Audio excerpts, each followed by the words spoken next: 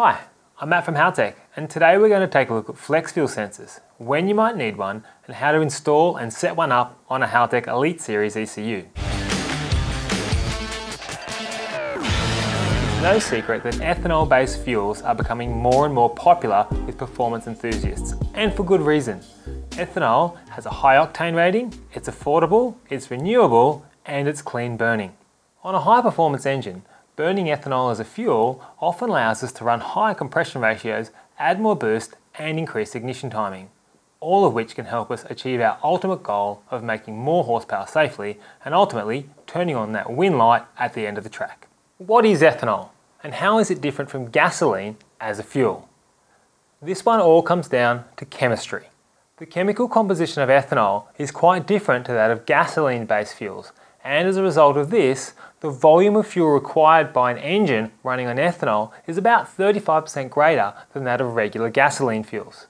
This presents a bit of a challenge because we've got this new clean, safe, powerful fuel available to us as performance enthusiasts. You can even purchase it at the pump at many locations, but it requires the fuel delivery system to be recalibrated to deliver roughly 35% more fuel for it to work properly. In the old days, when we had carburetors, this would be a really big issue because it would mean that we'd have to rejet the carb completely for this fuel type. And once that was done, we couldn't go back to gasoline without rejetting the carb all over again.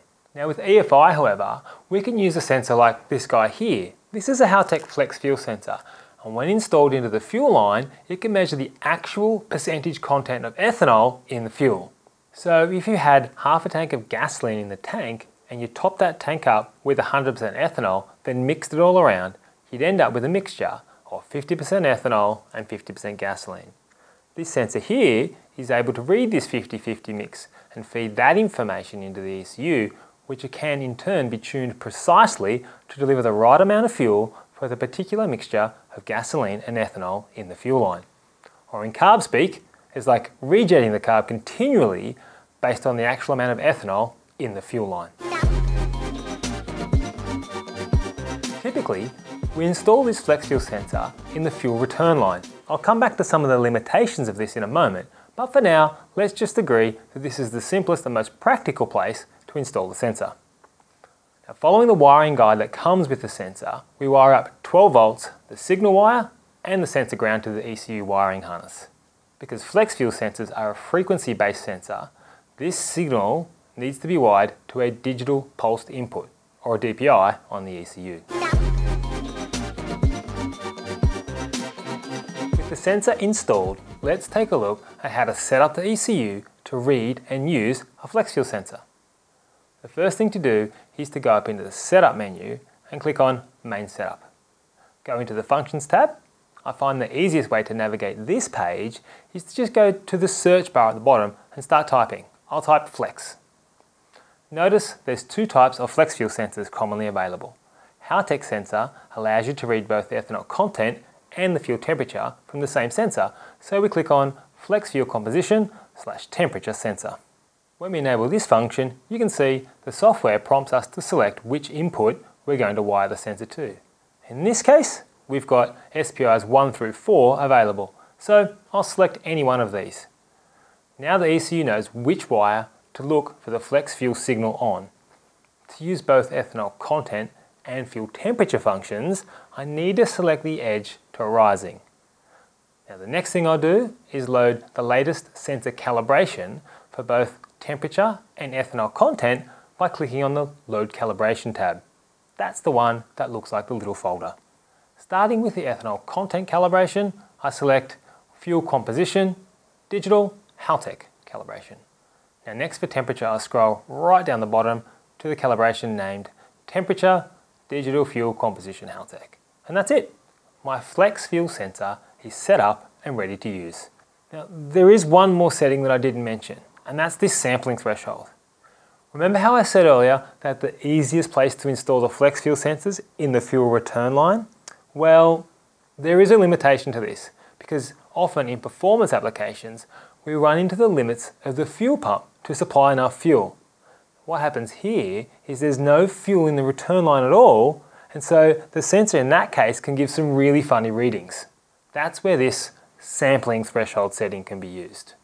So working on the theory that once fuel is in the tank and the engine's been run for a minute or two, the ethanol content is fairly consistent until it's refilled again.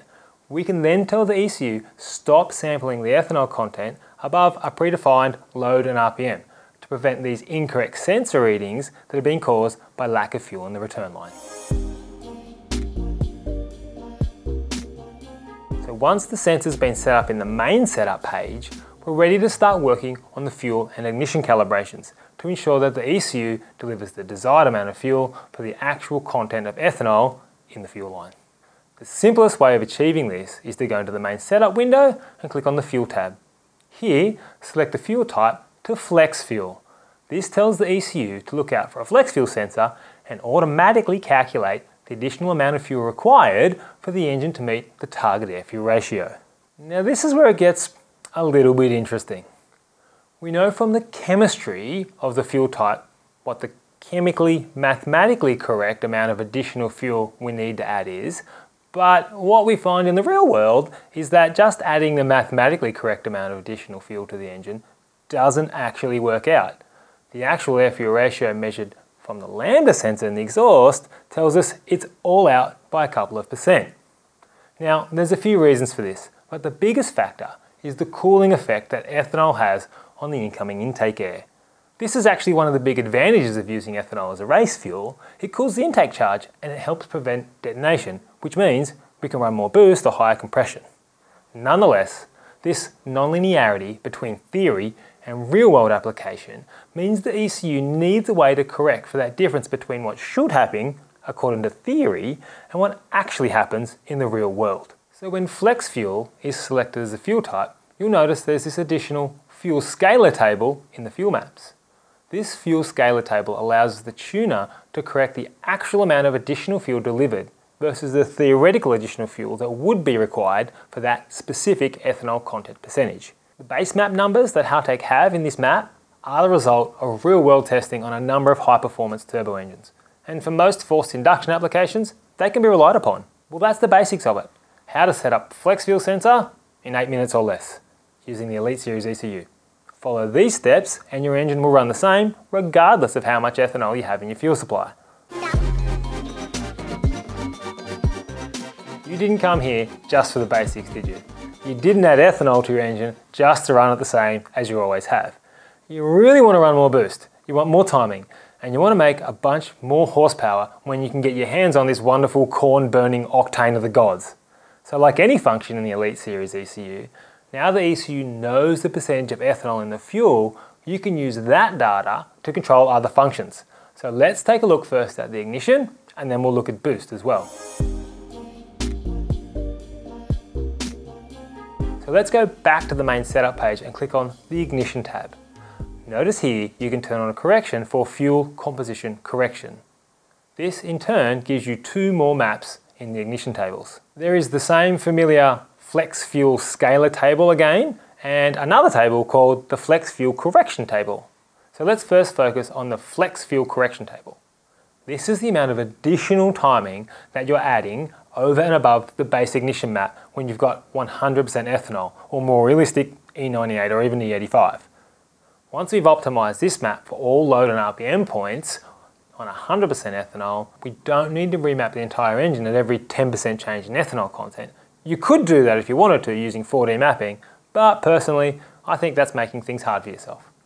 Rather than that, we go into the flex fuel scalar table, and this map allows an ignition correction percentage versus ethanol content based on that 100% ethanol ignition increase timing map. So if we had, say, 20 degrees of ignition timing in the base ignition timing map, that's the no ethanol tune, and 6 degrees of timing in the flex fuel correction map, then this scalar map calculates the percentage of the additional 6 degrees of timing to add based on the percentage of ethanol content in the fuel. It's no secret that E85 allows us to safely run more boost in an engine. So it makes sense that we may want to have our target boost increase with ethanol content. Or maybe the other way of looking at it is we may want to reduce the amount of boost we're making if we can't get E85. Either way, Setting up boost by ethanol content is as simple as going to the boost control function again by pressing F4 finding boost control and clicking on the corrections tab to turn on flex fuel composition correction. Now when I go into my boost control maps, I've got a new table under the corrections heading of flex fuel. This has a map axis based on the percentage of ethanol content in the fuel and gives me the ability to add more boost with ethanol content. These tables boost additional to whatever value I've got in my regular boost control table.